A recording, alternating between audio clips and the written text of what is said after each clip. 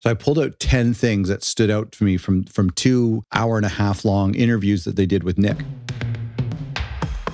I wanted to hop on here because I wanted to talk about something new that just came out. This interview with Nic Collins and these drum demos with a company called Drumeo, which is like a uh, drum education. I'm not very familiar with it. I'm not a drummer, but it's like a drum education website and platform and a YouTube channel, millions of viewers. Very cool channel. I, I'm not a drummer, but I'm kind of exploring it. You know, what's interesting is I think these interviews, uh, and they went to Switzerland to interview Phil Collins. We have no idea what that's about or what they talked about. I mean, they talked about drumming, but uh, we don't really know the application that's coming out next year in 2023. So we don't know what that's going to be like. All of the live uh, streams that they've been doing with Nic Collins and going through some of the Genesis catalog. I think that this content is some of the best original Phil Collins and Genesis content that we've had in years. And I mean, so many really cool uh, secrets and, and details and, and inside information from Nic being the son of Phil Collins that we get about Genesis and we get about Phil and about him, his personality and their relationship, their career. Because I was watching this and I was realizing, wow, there are so many things I'm learning for the very first time. So I pulled out 10 things that stood out to me from, from two hour and a half long interviews that they did with Nic about drumming, about drumming on the last Domino tour and on Phil's solo tour, about how he, how Phil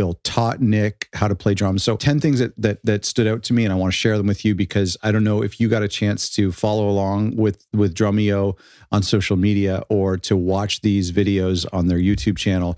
Um, but I pulled out 10 things that I think we need to know. But before that, I just want to say that what this showed me was a couple things. Nic has a great appreciation for his dad, which is kind of rare. It's rare in any father-son relationship uh, is can be can be challenging. It's also rare in the celebrity world, right? A lot of celebrity children don't want anything to do with their parents. They don't follow in their footsteps. I also get the sense that Nic might take the responsibility of keeping the Genesis legacy uh, alive uh, years even beyond uh, after some of these the original members pass away. And I I, I just kind of get that sense that like he has an incredible knowledge and appreciation of the Genesis catalog and of the solo catalog as well. And now he's playing with Mike and the Mechanics. And so I just kind of get this like warm, fuzzy feeling that Nic might help take the Genesis catalog and the legacy into the next several generations. So I think that could be cool for us as fans. The other highlight uh, for me was I learned that Phil's a really great drummer, which is crazy obvious, but I think you don't really fully appreciate the drums that you hear until you see someone play it. And a lot of times we don't get to see Phil actually play it with cameras on the kick pedal and overhead shots like they do on on this Drumeo thing. And there was a great clip of of Nic playing the cinema show that just blew my mind. And he played all of Fading Lights as well. In fact, on these videos on YouTube, and I'll provide a link for them, um, tons of deep cuts. He did In That Quiet Earth. He did Wot Gorilla, Fading Lights. He did some popular stuff like uh, Home by the Sea, Cinema Show. In the Cage, Los Endos, Duke's Suite, Supper's Ready. Um, tons of great tracks, tons of really great tracks. You'll Be in My Heart as well was the only solo one that I saw him play. I think maybe he also did. I think they're working on a course as well, which is really cool, like uh, an online course. And I think that's what you get with the membership. So, I mean, depending on what they release when it comes to the the interviews with Phil, uh, I might have to sign up for this like two hundred and fifty dollar annual membership. I'm not even a drummer. Maybe I'll just learn how to play drums. But I, but yeah, just going back to like uh, my another takeaway was just the idea of how good of a drummer Phil is, and getting to see it and go, oh wow, actually that you know the Los Endos beat, how fast it is, and it's like oh that seems like a very very difficult groove you kind of lose the appreciation for it when you just hear it on record and, and, just these videos really highlight the the beauty of of the drumming in genesis. So i just listed out these are just in random order. I listed out 10 things that i thought was really cool from this video that i think you should know. Number one is that los endos was in the running for the last domino tour. In the running means that because that the rehearsals were delayed that they had multiple stages of rehearsals. Think what that what i was understood was that nic was preparing at home before going to rehearsals, and there was a bunch of songs he had to prepare for, and some of those songs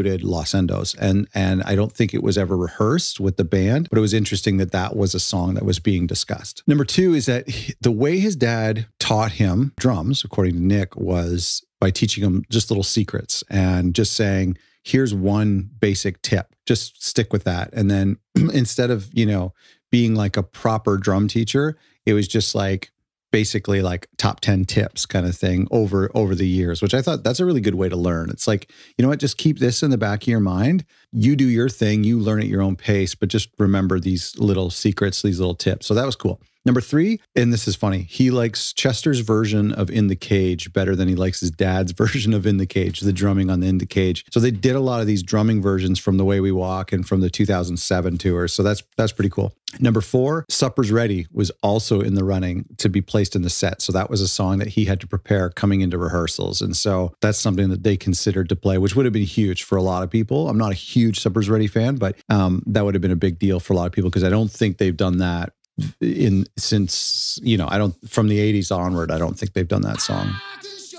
Number 5 was the lyrics uh, the the meanings of the lyrics of Fading Lights which is really cool. So I know we've talked about this so much a lot of fans have talked about how Fading Lights was the last song on We Can't Dance which is the last Genesis record that Phil sang on and it has these like closing chapters uh, the lyrics are sounds like it's the end of an era. And so he asked, I mean, a, a, lot of us just think, is that ironic? Did Tony, who wrote the lyrics, did he know that this would be Phil's last album? Did he know that this would be their last collective album? Did he know that that would work so well on the on the, the final tours? And so Nic, well on tour on the last domino, asked Tony if he wrote those lyrics on uh, on purpose. And Tony said yes. He said that actually uh, he had an idea and he was partly thinking uh, about the band and the end of the era because he thought that if Phil didn't leave after Invisible Touch, that he would definitely leave after We Can't Dance. And he was right. Number six uh, is this was really interesting that he said that Tarzan, Phil has said that Tarzan is his proudest work that's something he's most proud of. And I think that that's rightfully so because not only did it win an Oscar, it did well when it comes to Disney soundtracks. And and of course, I think there was, you know, You'll Be in My Heart did really well on the charts. But not even just that aside, but the fact that it was like another moment where Phil could reinvent himself, where Phil be, could become known for something new. And that's one of the things I love about Phil is that Phil could be known just alone by by playing on the Lamb. He could be known just for being on Selling England. He could be known just for releasing one of the most iconic 80s albums, whether that's Invisible Touch or that's No Jacket Required. He could be known for having the best-selling British album uh, of the year with with But Seriously. So there's all these like kind of moments in his career that would be enough to make any one of us massively successful and he has all these different moments and for Tarzan is another one of these moments where a lot of younger people know him from Tarzan. So it was interesting to, to hear him say or, or that, that Nic had heard him say that Tarzan was his proudest work. Very cool. Number seven is how bad, how hard the Simmons drums are to play. And and you know, I've never touched a pair, I've never seen a pair a set. But Nic said that when you look at it, you would think that it's like a practice pad where like the the it'll absorb a little bit of the the the stick, the impact of the stick, and send it back to you a little bit. But the opposite is true. It's actually like a super hard plastic, according to the the guys in the video. So that was really interesting too. Uh, and they talked about how bad it would be to play those Simmons drums, which he did on the uh, um, on the Invisible Touch tour, and to play those night after night could be really bad on your wrists because it's like taking a hard stick and whacking a table and that could do some damage on your wrist. Number eight is actually in line with that. And they talked about how, how bad the drum posture was for Phil and how he had his seat really high. And then all of his drums were, were often angled almost perpendicular with the ground. And which means that you're hunching over and you're getting your sticks in to hit them straight on. And so it kind of speaks to like maybe this, you know, Phil had gotten used to a certain way of playing before we had physiotherapists, before we had ergonomics, before we knew that this might not be a sustainable way. Uh, and he maybe got used to playing it that way and and then couldn't change or nobody really told him to change. And it didn't seem to be a problem but it obviously has caught up with him in his health many years later. So really interesting about you know how angled his snare is. And when i was a kid i was playing drums as a kid just emulating phil collins and I would set up my drums to look like Phil Collins. I would take the the heads off the back for it just so that they looked like Phil's drums. And I would even actually get clear skins and then draw that black circle in the middle because I didn't have skins that had that black circle. But anyway, but I would always angle things up like a wall of drums because that's the way that Phil did it. And so it's interesting that his bad posture contributed to to some of the problems that he's having now. Number nine is that Supper's Ready, the drumming on Supper's Ready is improvised, which I mean, I don't don't know if that's I don't that was new to me. I don't know if that's new to other people, if that's been written about before. Um, but it makes it difficult. I guess it, it makes it difficult um, for anyone try to learn that part because he's doing a lot of things different that there isn't necessarily a consistency to it. Now, Phil has talked in the past about recording drums uh, in the early Genesis days and how you would do a couple passes um, and then finally you would get one that you liked and they would have to keep the drums and then the other guys could overdub on top of the rhythm section nowadays you can overdub everything on in pro tools but back then you would stick the the the rhythm section to tape, and then you could overdub on top of that. Um, and so other people had the opportunity to redo their parts, but um, they always had to pick one of Phil's that that he maybe wasn't crazy about. He always said that second or third take was his best, and so then in the fifth and sixth and seventh and eighth take, he maybe wasn't happy with it. And so we know that there's a kind of an element of of improvisation and there's a uniqueness to each take. And so that was kind of interesting to me that Supper's Ready was completely improvised. Um, and kind of piece together and and which makes it hard to duplicate. And finally, number 10, uh, interesting factoid from this show